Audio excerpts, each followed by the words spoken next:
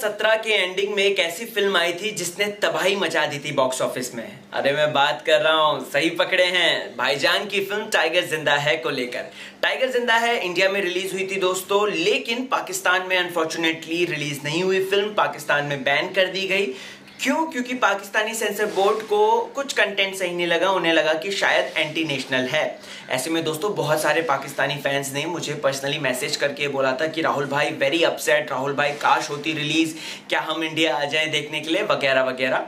लेकिन दोस्तों, एक बहुत अच्छी बात मुझे पता चली है, जिसे सुनकर आप डेफिनेटली खुश होंगे। बात दरअसल क्या है कि लाहौर का एक फ़ैन है, लाहौर में भाईजान के चाहने वाले बहुत हैं, पाकिस्तान में बहुत हैं भाईजान के चाहने वाले। तो उसने पूरा का पूरा एक थिएटर बुक कर लिया दोस्तों, और उसने पाकिस्तान में ये फ़िल्म को पहली बार मतलब बड़े पर्दे पर रिलीज़ किया। भाई, मानना पड़ेगा। क्या चाहत है भाईजान के प्रति? अच्छी बात है यार तो ये तो बहुत अच्छी बात है कि पाकिस्तान में इस तरीके से भाईजान की फ़िल्में पसंद की जाती हैं, इस तरीके से इमेंस प्यार मिलता है।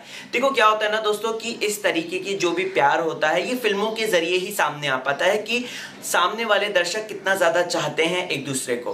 अब पाकिस्तानी इस फ़ैन के बारे में आपको क्या है कहना? क्या आपको भी ये बात सुनकर अच्छा लगा कि यार देखो, हमारे भाईजान के चाहने वाले इतना डेयर करते हैं? क्योंकि यार बैन है, जो चीज़ जिस देश में, वहाँ पर इस तरीके की हरकत करना इज़ डेफिनेटली यार ग्रेटिट्यूड है ग्रेटिफाइंग है बिल्कुल।